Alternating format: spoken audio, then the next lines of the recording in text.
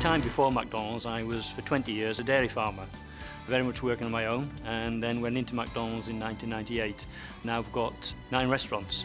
I decided to do something else um, when I was in my 40s. I'd reached a plateau, and the next stage in farming was big investments, and I just couldn't see the return on that investment.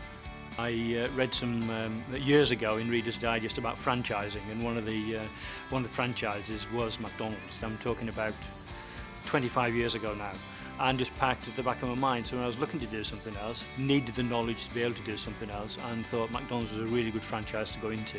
Having worked on my own for 20 years to now employing 700 people plus has been a challenge.